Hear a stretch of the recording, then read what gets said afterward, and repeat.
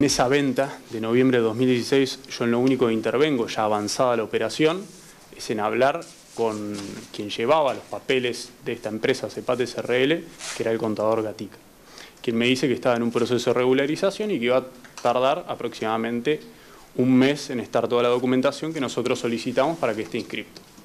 Una sola comunicación en ese momento, listo. Una secretaria de este estudio se vuelve a comunicar eh, a los teléfonos de la agencia, se comunica conmigo, me dice la documentación ya está lista, un mes después. Bueno, le, digo que repasamos qué documentación tiene que ser, que la acerca la agencia. La acercan, se inscribe el vehículo como cualquier otro vehículo.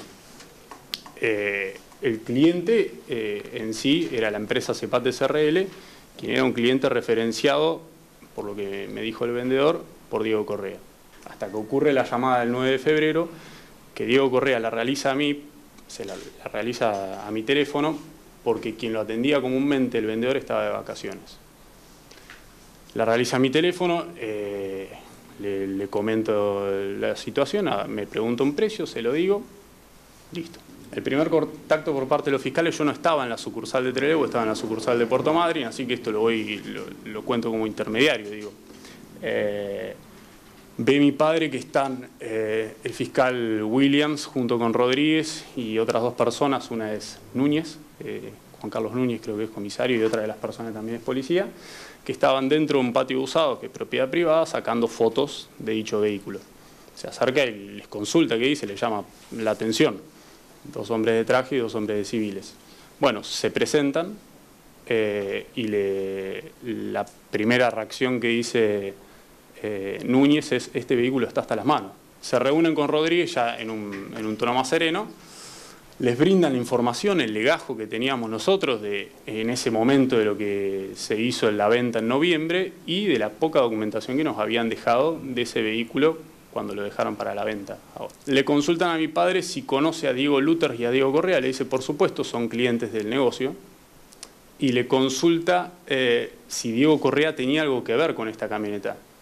Le dice, mire, eh, es de una empresa, pero él tiene una cédula azul. Se le comunica que teníamos un crédito aprobado de esa unidad, más que nada aclarando que habíamos avanzado una posible venta y que, bueno, que si ellos nos decían que estaba comprometida la unidad, íbamos a, íbamos a desistir. Se desistió de esa venta, se dejó ofrecer eso, se comunicó al, potencial cliente de que no, no se iba a poder seguir con la venta. Ese vehículo se apartó del patio usado donde está en la vía y se puede ver, se resguardó en un lugar que está a la vista externa por un portón de vidrio y eh, se le sacó las placas patente para que el vehículo no sea identificado como un usado porque quedaba en tránsito de la agencia y que no sea consultado como si está a la venta, no está a la venta. En ningún momento en la entrevista me pregunta ni por Diego Correa, ni por nadie más, ni nada por el estilo. Es decir, y no queda nunca claro qué era lo que, lo que estaban buscando. Es decir, eh, no, en ningún momento me lo manifiestan, como para ver si podía aportar algo más el 5 de marzo viene a retirar el, vehículo. Viene a retirar el vehículo Muñoz. Muñoz que era quien generalmente venía a la agencia a traer otros vehículos también. Y em, Muñoz era, tenía cédula azul, es decir, no era un completo desconocido en ese aspecto de Muñoz. De hecho, ahí eh, yo traje algunas pruebas que prueban que Muñoz, por ejemplo, trajo otros vehículos, era un chofer habitual de, por ejemplo, el vehículo de Correa hacer un service o de Raquel Di Perna hacer un service, el último en noviembre del 2017. Muñoz dice que, retira el vehículo y se sube y dice que no tenía las placas patente puestas, que nosotros lo preparamos. Es cierto, el vehículo no estaba preparado, no tenía ni las placas patente puestas, ni la batería estaba conectada, ni la documentación estaba lista, la tuvimos que buscar y hasta tuvimos que hacer un movimiento de otro vehículo para lograrle dar paso a este vehículo y que pueda salir.